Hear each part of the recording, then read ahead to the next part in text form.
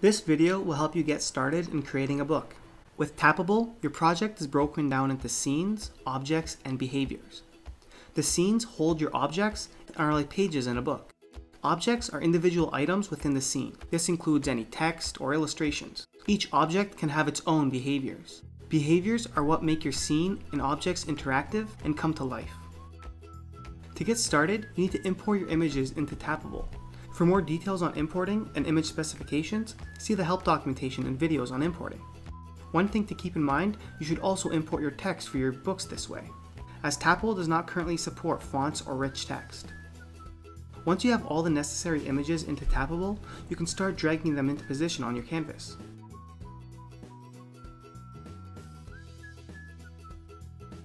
You can add basic interactions, like moving objects very easily.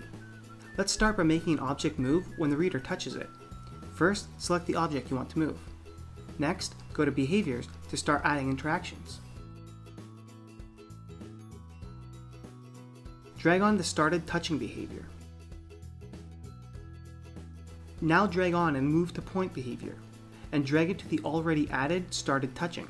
The move to point behavior will move the object to a selected point onto the canvas.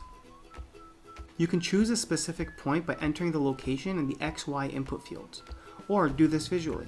To do this visually, tap the object graphic in the behavior properties. Tap the object graphic. Now move the blue target to the desired location. Tap the checkmark icon to accept the new position. Notice that the X and Y fields are automatically filled in. Now your object will move after you've touched it. Press play to try it out.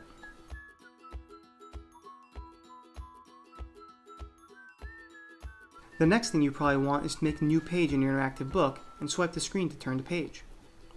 There are a few different ways we can add the swipe gesture. You can add the behavior to a specific object in your scene, or add it to global behavior so it affects all the scenes in your book. Let's add it to the global behavior so you don't have to repeatedly add it to every page. Tap the button in the top left corner to open the creation menu. Then tap global behaviors at the bottom. The behaviors you add here will affect your entire project and execute when you load each scene.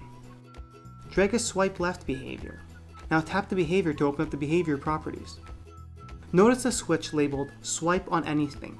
Set this to the on position. Now you can swipe on anything in your scene to execute the behavior instead of being restricted to swiping to a specific object. Next, add the load next scene behavior and connect it to the swipe behavior. If you want, you can also add a transition while it loads the next scene. For example, you can choose a page flip animation. Finally, add a new scene to your project. Open the creation menu, then tap add new scene to create a new scene. Since you added your swipe gesture to the global behavior section, any new scene you add will automatically be able to swipe to the next scene. So you can press play and notice that you can swipe right away.